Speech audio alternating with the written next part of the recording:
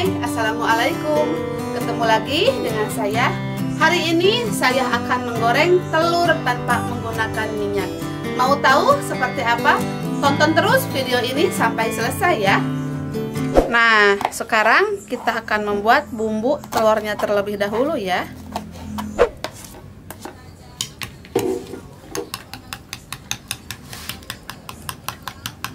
Nah, telurnya sudah siap. Sekarang kita langsung saja menggorengnya. Kita nyalakan kompornya.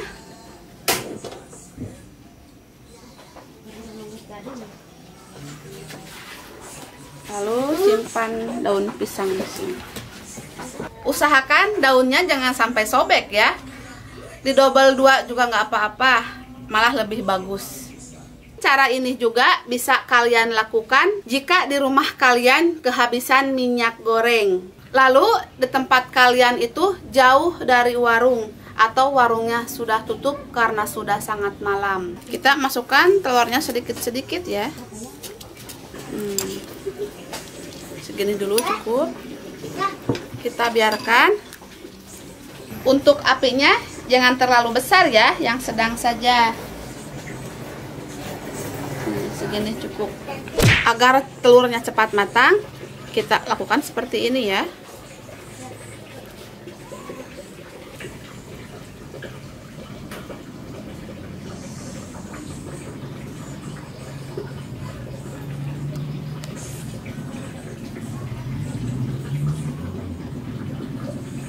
Sekarang kita lihat bawahnya ya. Kalau misalkan sudah kering seperti ini kita langsung balik saja kita akan membaliknya dan caranya seperti ini. Kita angkat terlebih dahulu telurnya. Lalu kita masukkan daun yang baru. Lalu kita simpan telur yang tadi. Pelan-pelan saja ya. Hmm. tuh lihat. Cantik kan? Kita tunggu sampai telurnya kering dan matang. Kita lihat bawahnya. Wah ini sudah matang. Kita langsung angkat saja. Hmm.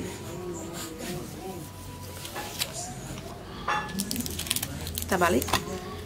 Wow cantik banget ini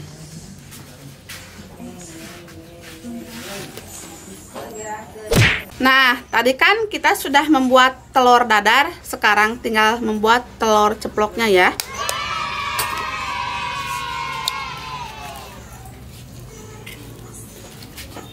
Jangan lupa kita kasih garam sedikit biar enak.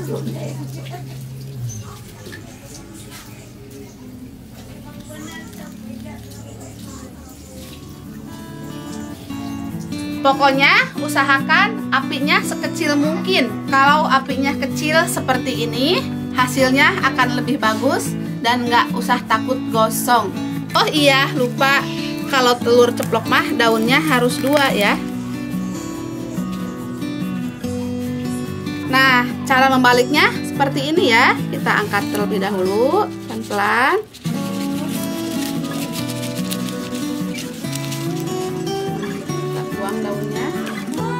Kita ganti yang baru. Seperti ini. Ini sudah matang. Kita angkat saja pelan-pelan ya.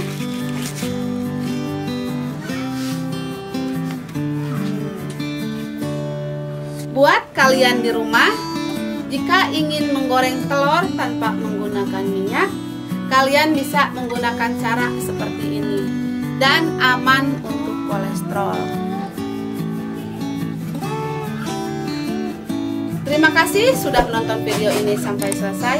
Jangan lupa tekan tombol like dan subscribe-nya ya. Sampai ketemu di video saya selanjutnya. Wassalamualaikum.